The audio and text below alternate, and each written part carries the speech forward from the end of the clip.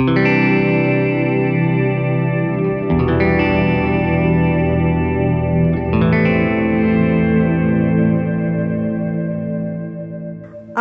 pria di Rejang Lebong Bengkulu, tega menghabisi nyawa istrinya karena cemburu.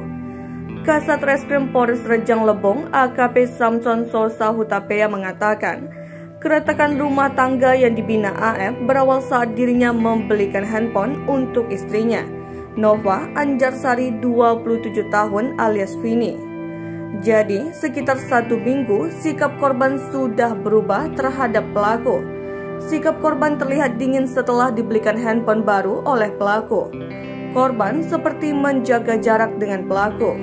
Ujar AKP Samson Sosa Hutapea dalam konferensi pers pada Minggu 27 Maret 2022. AKP Samson Sosa Hutapea menjelaskan sebelum dibelikan handphone oleh pelaku, keduanya tak pernah ribut. Sebelum terjadinya dugaan pembunuhan ini pada Jumat 25 Maret 2022, sekira pukul 18 lewat 30 menit waktu Indonesia Barat, korban pergi dari rumahnya dan sudah membereskan barang-barangnya.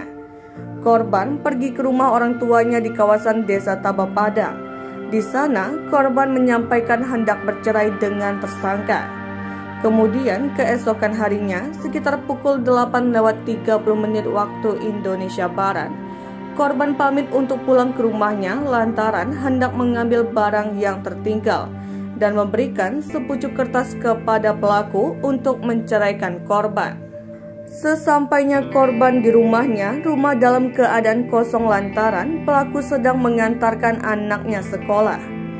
Pelaku yang kembali ke rumahnya melihat korban, pelaku lekas mandi dan berencana untuk berjualan sayur. Usai mandi dan berpakaian, keduanya duduk saling berhadapan. Korban langsung mengeluarkan sepucuk kertas dan pena untuk pelaku menalak korban. Pelaku yang kebingungan ini sempat menanyakan alasan korban meminta untuk ditalak. Korban beralasan sudah ada laki-laki lain. Tak percaya, pelaku memeriksa handphone korban untuk memastikannya. Korban pun menolak hingga akhirnya pelaku naik pitam. Pelaku langsung menganiaya korban dengan sebilah parang. Korban pun meninggal dunia saat menjalani perawatan di Rumah Sakit AR Bunda Lubuk Linggau. Sementara itu, Kepala Desa Air Apo Sugianto mengatakan, Korban dikenal baik oleh warga sekitar termasuk terduga pelaku berinisial AF.